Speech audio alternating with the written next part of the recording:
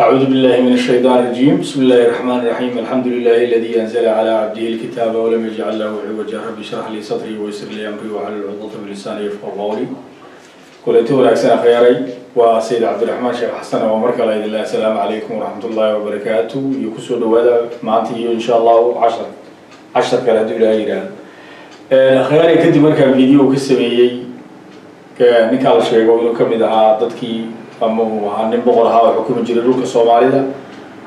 Ayaa ay dad badan soo weydiiyeen maaragtay waxyaabahaas oo kale. Markaa cilmi baaris baan ku jiray ninkaasina waxa weeye boqorkii xukumi jiray boqorlada gobollada waqooyi ee la ohan jiray akhyaaray.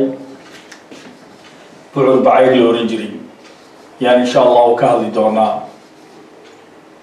Akhyaaray saad ogtiin bucur bacayr horaan uga sheekeeyey anoo maaragtay isbarbardhig ka sameeyey ninkii culimada reer ban israa'iil ka tirsanaa ee gaaloobay kitaabka qur'aanka alla noogu sheegay subxaana wa tacaala suurat alacraaf ninkaas oo la yidhi subxaana wa tacaala waa uu gaaloobay kadib markii uu adduunyada ku adduunyada ku dhegay oo adduunyada jeclaa marka macnaha sifooyinka ninkaas iyo wixii ku soo arooro o dhan waxaan ugu warramay video aan leeyahay maxaan maxaan ka ognahay bucur bacayr marka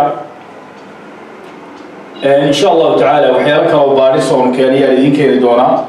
Arrintan akhyaari ma aha macnaha xumayn iyo warxumatashiil aan ka wado beelaha walaalaheena ee maaragtay inta badan qarniyaalka haddayna kumanaanka ahayn lagu gafi jiray.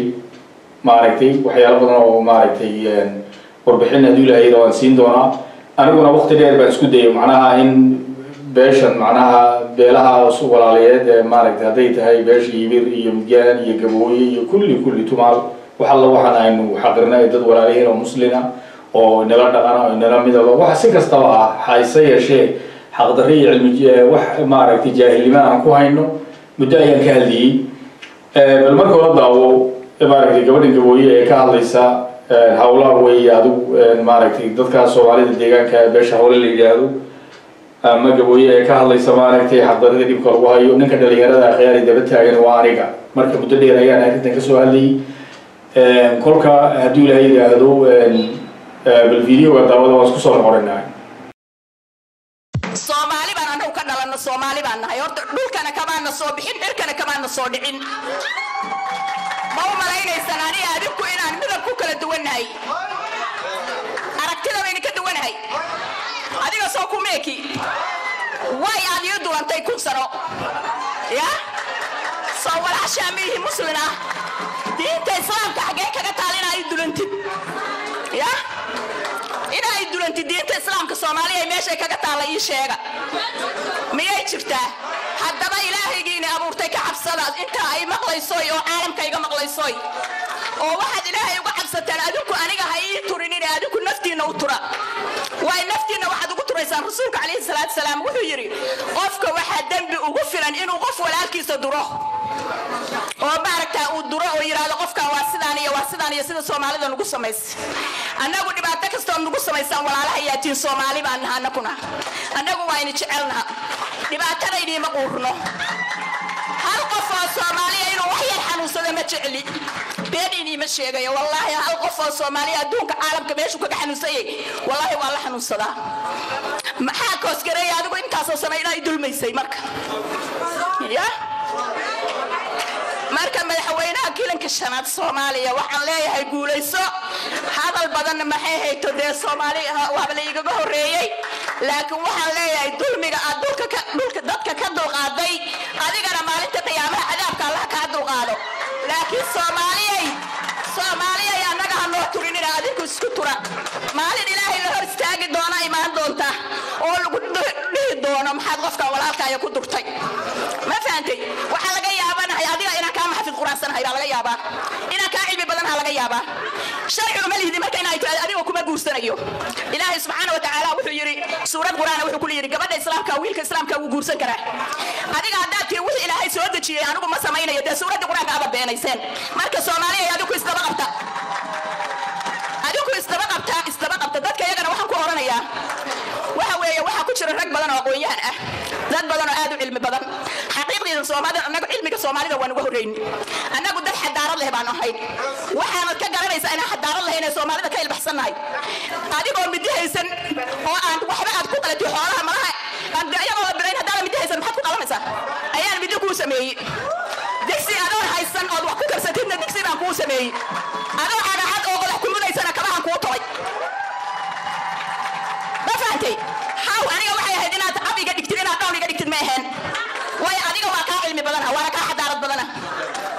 islaamkuna ma qabto sidaas? Waxaan hadal ku soo gabagabaynayaa dad badan maadaama ay sugayaan waa inay mahad celinaya kulligiin soomaalina walaalaheen weeyaan. Wiilka madaxweynaha ka maxaa kukilinka shalaad? Waa la garab taaganahay qadiyaduu sameeyey wuu ku mahadsan yahay caawa haddaan heli karana bilo dahabaan u gelin hasurka. Laakiin bedelkeeda insha allah janna ugu ducaynayaa. Waana la garab taaganaha qadiya soomaaliya oo dhanna sida wiil madaxweynahaas ha noqdaan. Madaxweynahaas ha ku daydaan. Dulmi buu idinka qabta gacantee dulmiga uu idinkugu hiliyey adinkuna isku garta waana mahadsantihin kulligeen joogtaanba allahu khayr waa hagaaga khiyaare marka berigaas ma sideed sano waxbay dhalay adigu waqti hore weeye maaragtay waqtigan suxufiga ahaa weeye hadduu ilahay idii roo yahay intaanan bilaabin casharkan iyo cilmi cilmigan diiniga marka ninkii beriga madaxweynaha deegaanka ahaan jiray ayaa arrintaa initiative-keeda lahaa oo maaragtay laga codsaday inaan shir qabano oo saas oo kale oo dadkan xaqooda aan ku soo celino marka anigu isku soo dabaridii shirkaan ayaan ahaa maraykanka ayuu ka dhacay minneapolis ka dhacay adigu sideed sano saas oo kale waqti saasa haddii ku dhawaad adigu haddayna ka badnaynba. Marka waxaa dhacday arrintii markaan samaynay oo ninkani maaragtay uu doonayay inuu habaarkan iyo koorsigan saaran dadkan walaalihiin uu ka qaado nasiib daro waad ogtihiin ninka abiye ee hadda ra'iisul wasaaraha ka ayaa xiray. Arrintiina halkaasay ku baabaaday.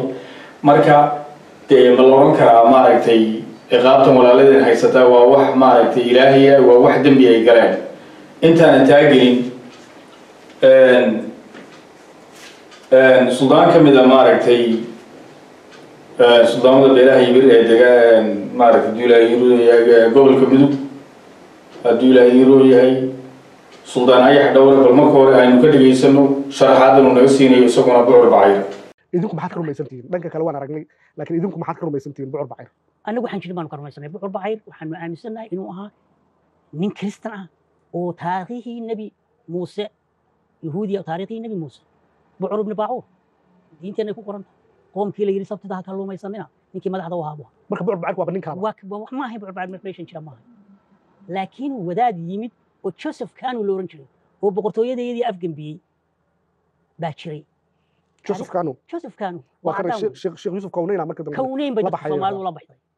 hayna anagu taarikhda cid kastoo u baahan oo nagala doodaysana Mhm. diyaar baanu nahay inaan waqtigeeda soo gudbin. Sheekh yusuf kawnaynkan ee, soomaalida waqooyiga muslimiyey soomaalida oo dhanna diinta gaarsiiyey oo xataa afka soomaaliga in qur'aanka lagu qoro alif wax male bahos ka hadle ta korku lamale ta korku saddex le noo sameeyey. Miyaa gaal aha?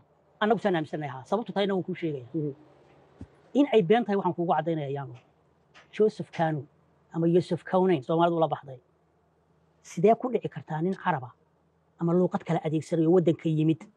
Inuu luuqaddii afka soomaaliga ku turjumo af carabi wax dhici kara ma. Soomaaligu wuu ku turjumi karaa. Dadku baran karaa afkii. Baran karaa. Waabuu yimid markaasuuba u yimidba markaasaabuu yimid dadka u yimid. Bal taariikhdaynu dib u raacno. Marka isagu soomaali ma ahayn waa nin yimid weeye. Dadkii meesha xukumayna soomaaliya ahaayoo idinkaa jooga. annagaa joognay. Maxaad isku dagaasheen boqortooyo waa taqaanaa. Waa la isku qabsanaya kursi waa la isku laaya dad nin Soomaalidu iska socda su kursiga ku qabsan karaa. Wuxuu ku qabsan karaa. Culimadii buu ka mid noqday. Mudduu la joogay. Diintii ummaddii buu ku diray wadaadka annaga. Markaa meesha haystee wadaadka inuu dadkii ku kiciyo bulshadii ku kiciyo. Waad maqashay waan malaya taariikhda soomaalida tiraahdo aw yuusuf kawneyn baa yidhi buurtan kala dilaaci buucur bacayrow kadibna gal soo noqo buurta ay qabo. Dadkaba waxba kama hareen ayaan low. Haddii qof waliba qof buur ku qabanayo yani waxyaabaha soomaalidu marka wax la aqbali kara wax la aqbali kara maaha caqli waa ka weyn tahay caqliga way ka weynta Mm. qof waliba qofka guriga uu degan yahay buu ku dumin lahaa dadkaba cidi kama hadheen marka ma qabno wax jirana maaha nin socda oo diin faafinaya oo deegaan yimid deegaan nidaam leh oo la xukumo oo odayaal joogaan oo nidaam ka jiro inuu gaaro heer ay wadaadkii meesha u sarreeyey iyo isagii ay qofkii xaq wada ku tartamaan oo loo kala gar noqo taa lafteedaaba macquul ahayn soo ma macquulaha maaha Mhm. waxa weeyaan qofkan yimid see ku gaaray heerkaa wuxuu ku gaaray un- bulshadii buu dhex galay. Ku-xigeen buu noqday qofku wuu dalacaya marba marka ka dambaysa. Aakhirkii uu noqday ninkii gacanyarahaba u ahaa. Kadibna khayr daawateen suldaanku wuxuu noo sheegay in bucur bacayr uu ahaa boqor maaragtay dhulkaa xukuma. Inkastoo maaragtay suldaanku waxyaalo badan oo aad iyo aad iskugu khalday.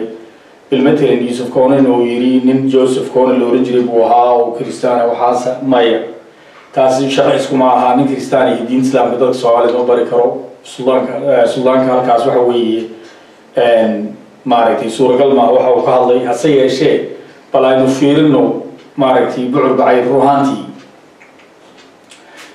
saan idin carbaabay barnaamijka kheyre bilowgiisa kadib markaan ninkaa reer bani israa'iil ee la ohan jiray baclam ibnu bacuura fiiri say isku eegyihiin fiiri akhyaray ninkan boqorkan reer bani israa'iil waxaa ninkan reer bani israa'iil ee gaaloobay waxaa la ohan jiray baclam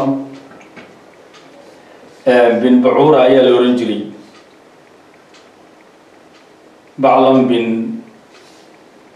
hadduu ilaahay idin rooyahay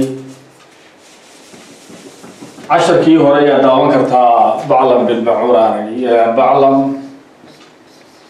bin bacuura ayaa ninka la ohan jiray akhyaaray saan idiin sheegay culimada reer bani israiil ka mid waa ogaaloobay marka saad aragtaan labadan magac aad bay iskugu dhow yihiin. Hase yeeshee baclam bin bacuura waxaa laga joogaa saddex kun oo sano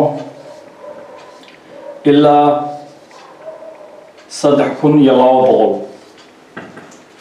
bucur bacayrna waxaa laga joogaa baa la yidhi qarnigii saddex tobnaad bay ahayd waxaa laga joogaa haddana waa bilowga qarnigii toddobiy tobnaad. Adigu macnaha rufly toddoba boqol oo sano ilaa iyo siddeed boqol oo sano. Kolka labadan wakt wakti isma qabanayaan. Hase yeeshee shakigama jira aniga. Ninkan la yidhi gobollada waqooyi bocorka iyo boqorka ahaa oo la odhan jiray bucur bacayr xaqiiqiyan waa baclam bin bacura sifooyinka ninka la odhan jiray baclam bin bacurana fiideoyadii hore ayaan uga hadlay wuxuu ahaa reer bani israa'iil oo ku fidnoobay dumarka fiirsada dumarku ku fidnoobay. Shareecadii iyo diintiina wuxuu uga baxay uu ku gaaloobay dumar jacayl dumarka jecel yahay oo xadkiibuu dhaafay. Bilmatalan hadda raggeena muslimiinta alla subxaana wa tacaala waxa uu ku gooyey in ninku muslimka uusan guursan karin afar dumar ka badan. Hase yeeshee ninkan waxaan barnaamijkaan sameeyey kadib soo ogaaday inuu maaragtay hadduu ilahay diin rooya uu lahaa ugu yaraan konton dumara. Waxaa jirta farqo kristaan oo maraykanka degan oo la yidhaahdo mormonis oo ninku isagana saas oo kalea maaragtay dumarkay guursadaan ay ay dumarkay dee haystaan ay yihiin unlimited. Waana waxa stateka utah ee maraykanka ka tirsan loogu diiday inay federaal maraykanka noqdaan ilaa ay sharcigaa baabiyaan waayo dowladda maraykanku waxay aqoonsan tahay dee iyagu dhigteen hal dumara inuusan ninku ka badan guursan karin soo garateen maa kolka ninkani intaasoo dumar uu qabay dumarka lagu fidneeyey dee shareecadiina uu dhaafay culimadana waxay yidhaahdaan reer bani israa'iil oo kale afar dumar ka badan looma ogolaan jirin iyaan tafsiirada iyo cilmilfiqigii reer bani israa'iilka hore aan ku arkay laakiin isagu uu ka baxay intaasuu yeeshay fariid taasi akhyaari waxa weeye waa baclam bin bucuura ninka qur'aanka lagu sheegay araafka lagu sheego waa suurada toddobaad. Hase yeeshee akhyaari ninkan kale ee la odhan jiray bucur bacayd isagana waxaad ogtihiin in isagana dumarka lagu fidneeyey oo la yiri caado waxaa jirtay soomaaliya oo waxaan hadda soomaalidu toddoba ka baxoog ay yidhaahdaan gabadhii la soo guursaday uu haysan jiray toddobada maalin ugu horreeya arrintaasi waa arrin dhaba waana wax xaqiiqa. Kolka hadda waxaa ii caddaatay in ninkan bucur bacayr aynu u naqaanaa uu yahay baclam bin bucuura. Shakigama jira aniga. Fariid. Kolka. Laakiin labada taariikh isma qabanayaan waayo dee toddoba kun toddoba boqol marka laga jaro maaragtay saddex kun oo sano saddex kun oo sano weeye halkaasi saddex kun marka laga jaro waxa weeye hadduu ilaahay idiin roo waa laba kun iyo saddex boqol. Laba kun iyo afar boqol laba kun iyo shan boqol ilaa laba kun iyo afar boqol ilaa intaas oo kale. Soo ma aha. Hase yeeshee ninkan kale ee culimada ahaa sheekh usfoone la oran jiray waktigan uu noolaa qarnigii saddex tobnaad buu noolaa. Isaga waa waa la hubaa toddoba boqol oo sano ka hor. Kolka siday isku qabanayaan? Ninkan sheekh yuusuf koonayna oo isagu nin muslima ahaa ogoda hadda diinta islaamku berigaa saddex kun oo sano ka hor muslimiinta berigaa reer bani israa'iil bay ahaayeen. Dadkan carabtu muslim maysan ahayn oo diinta islaamku islam diintan la yidhaahdo ogaada hadda nebi aadan baa muslim ahaa hase yeeshee dee kumay magacaawaneen muslimiin iyo muslimiin weli tawxiid waa reer bani israa'iil laakiin magaca bani israa'iil bay wateen. Marka toddoba boqol oo sano wadaadkan joogay ee sheekh yuusuf koonen la yidhaahdo suuragal ma aha inuu yahay ninkii la kulmay bucur bacayr. Bucur bacayrna waa shakigama jira inuu yahay baclan bin bucuur waana ninkii soomaalida xukumi jiray saddex kun oo sano ka hor. Kolka beelahan yimir iyo beelahan walaalaheena gabooyaha hal waxoon ninkaas sudaankeed hadalkiisa maqasheen aan kula raacsanay waxa weeye waa dadkii indigenouska ahaa ayaa la oran jiray. As maaragtay asalu soomaal dadkii la oran jiray weeyaan. Waa soomaalidii hore taa iyada shakigama jiro. Waana dad noolaa intaasoo sano hase yeeshee sheekh yuusuf kooneyn u malayn maayo mana aha suuragalla ma aha inuu yahay. Wadaadka taariikhda laynagu sheegay inuu dilay inuu dilay bucur bacayr. Waayo ninkani saddex kun oo sano ka hor buu noolaa sheekh yuusuf kooneynna wuxuu noolaa toddoba boqol oo sano ka hor. Marka haddii ay macnaha uu ay dhab tahay sidaan cilmi baaristan ku helay waayo gadaal waxaan ka helay buug carabi oo maaragtay la yidhaahdo taariikhda yaman baan ka helay qayb yar baan helay oo internetka carabi lagu soo qoray. Waxay sheegaysaa taariikhdaasi in baclan bin bacuura markii reer bani israa'iil oo hadduu ilahay kadib uu ku fidnoobay oo uu gaaloobay kadib inuu tegay arlo yaman. Okay arlo yaman waxaad ogaataa dhulka soomaalida beriga magaca waxaa la oran jiray of land of gods baa la oran jiray ama dhulkii udug ayaa la oran jiray oo baashan beeyadii fooxa ka bixi jiray. Hase yeeshee xeebahan soomaalidu waxaa dadka la xiriira dadka degani waxay xiriir weyn la lahaayeen. Koonfurta jasiiratul carab dadka degan oo ah dadka yamanta waana meeshii ay dadka soomaalida ee halkaa degani asalkooda ka soo guureen. Waxaan idiin sheegay barnaamij ka mid ah khiyaari barnaamijyadan uga hadlayay taariikhda soomaalida. In hadduu ilaahay yidhi hadduu ilaahay yidhaahdo in magaca wabar oo beelaha soomaalida gaar ahaan beelaha hawiye digre berfle u yaqaanaan ugaasyada ama boqoradooda magacaas uu yahay qabiil ka mid a qabiilada carabta oo loodhan jiray wabar loodhan jiray carabtana ay u taqaano alcarab albaacida carabtii luntay hase yeeshee carabta luntay waa soo dadkan soomaalida la yidhaahdo. Kolka beriga dhulkay waxaa la odhan jiray buugga waxaan ku arkay iyagoo u bixinaya dhulkan yaman ee ay maaragtay badda cas udhexaysa geeska africa ama geeska dhulka soomaalidu degto waxay yidhaahdeen waxaa la odhan jiray al-ardu alilaahiya soo ma aragtaan macnaha fooxa iyo de ummadihii hore iyo waxa ay maaragtay isticmaali jireen ilaa berihii romaankana ganacs ganacsiga waxaa la yidhahda beeyada iyo fooxu waxaa maanta lagu qiyaasaa dhowr iyo toban milyan inuu ahaa sannadkii oo dee wakti ganacsi weyn buu ahaa. Marka ninkan bucur bacayr la yidhaahdo ama xaqiiqiyan baclan bin bacura fiiri labada magac siday maaragtay iskugu dhow yihiin waa ninka ay ka soo ka soo farcamatay anusaa qiyaasayo dadka soomaalida khiyaaray boqolkiiba soddon. Shakigama jiro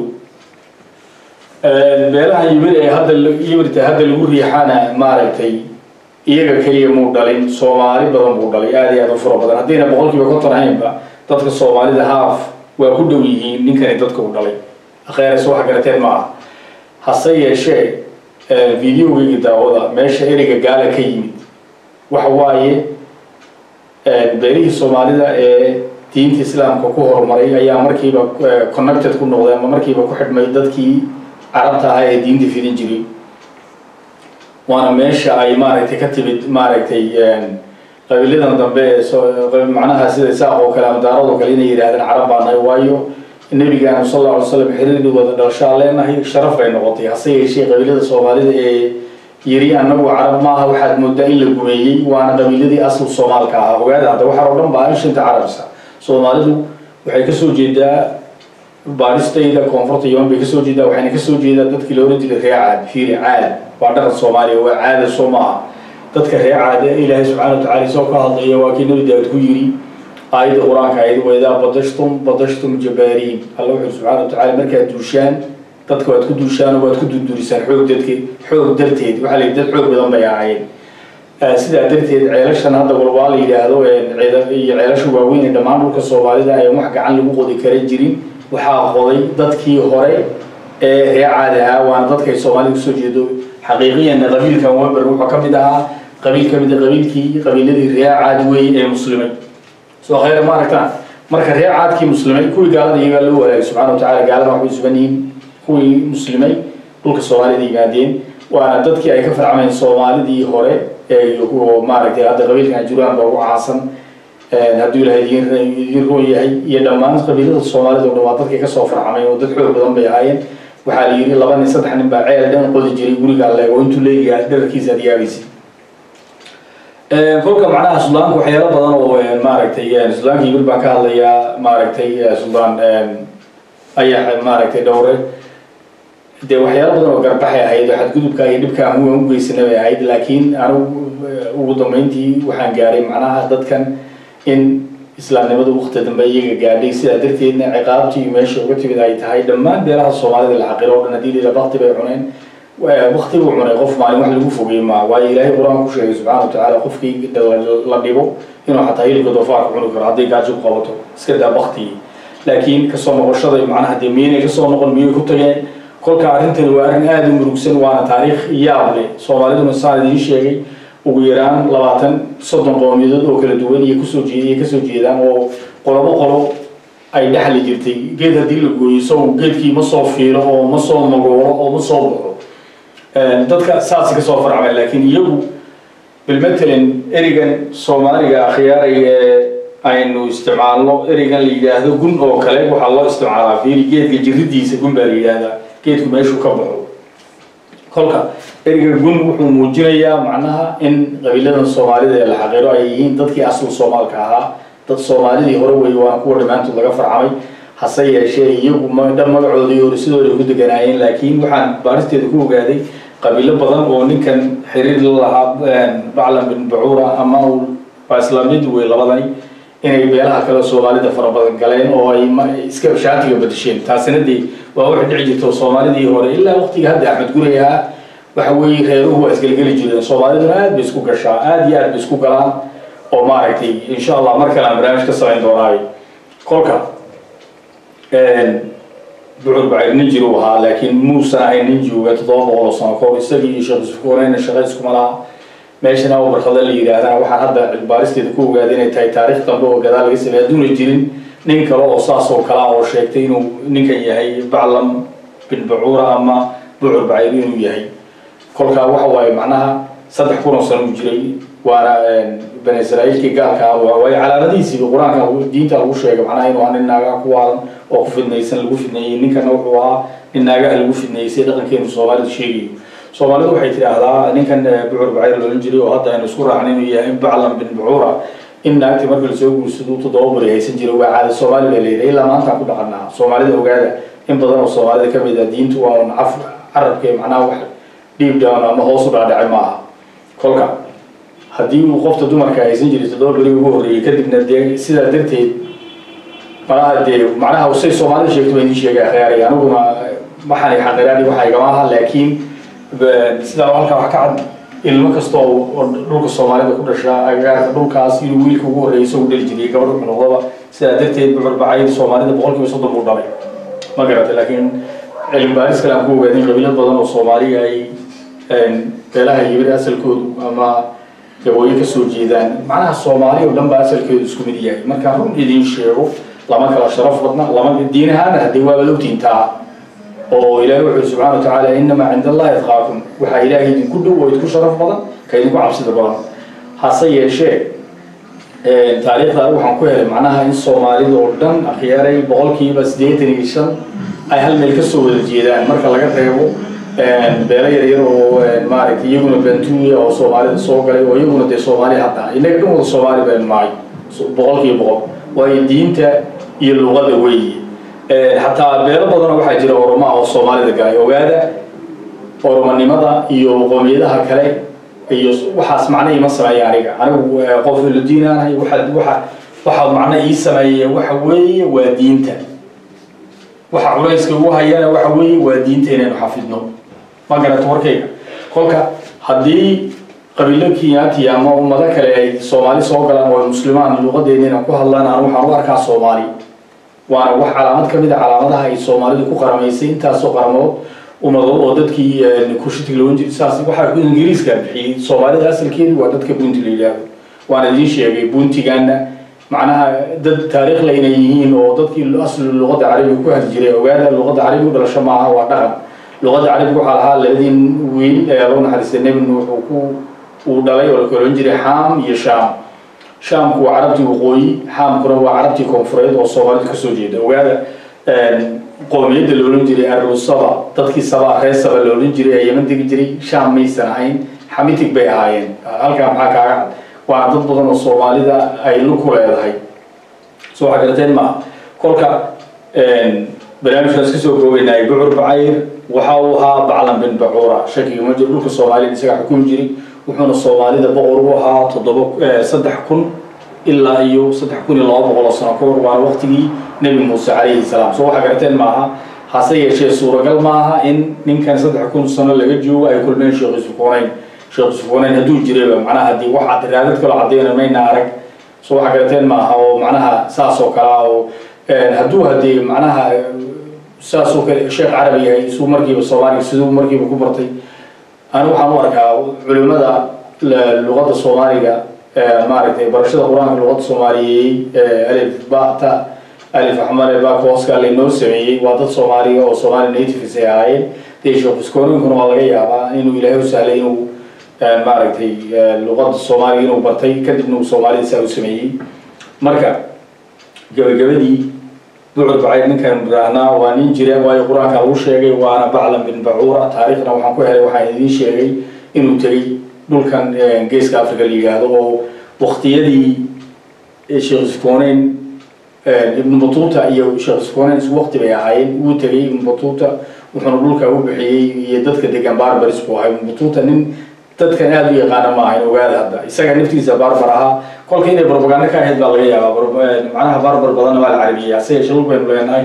Waayo dadka barbarka la yidhaha iyaga naftooda asalkooda waa xamidig dadka soomaalida isxigaan soo waxaa garateen ma laakiin dhulkan lanaf gunta la odhan jiray. Int taariikhdeedana afar kun iyo shan boqol waaba la haya waayo haweeneydii faraacinta ahayd ee la odhan jiray hebsatu hebshasud ayaa booqatay dhulka muddo laga joogo afar kun ilaa afar kun iyo boqol sano ka hor oo hadduu ilaahay idiin roo yahay soo xaqiijisay in dhulkaas yahay dhulkii awgedeeda ee faraacinta ka guureen marka soomaali badan baa waxay tidhaahdaa beelaha walaalahina la xaqiray waa qabiiladii fircoon oo dadkii dhulka ku haray wayada naftigeeda waa suuragal oo barnaamijka waxaan idiin sheegay macnaha waxa dadkan ciqaabta intaa leeg mariyey maamar ilaahay baa jira xukun kalaa jira. Nin baa isku dayay ninka cabdiile la ohan jiray yaa isku dayay inuu arrintan tirtiro waa ogtiin isagana meeshuu galay. Aniguna xogaal baan ahaa nin qoraana waan ahaa dadkii xafladdaa soo abaabulay fideogii hadda gabadhii gabooye walaasheena hadlaysay aad ka daawateen ninka daba taagan saan idiin sheegay waa aniga kolka ma laga yaabaa inay ciqaab jirto dadka walaalihiina dembi galeen. Islaamka hadda waraysigiisa inoogu sheegay macnaha hadduu ilaahay rooyin dad boqortooyo ahaayeen inay dad saas ahaayeen. Dee wixii jiraba dadkana ilaahay iskama ciqaabo haddii aysan dembi horogelin bilmatalan calaamadda ay beelaha walaalihiin la wadaagaan.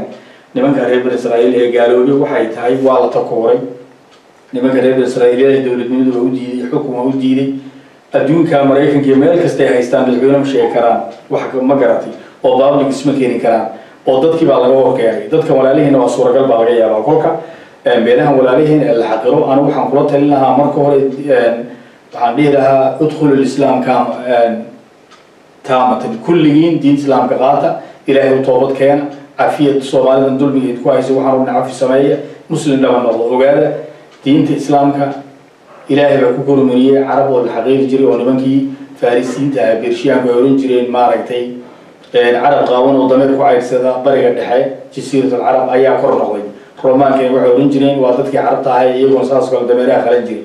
Kolka dadkii la yeesi jiray carabta ahaa ilaahay subxana wa tacala kitaabka qur'aanka ee diin islaamka ayuu ku kormariyey diin islaamka waa nuur.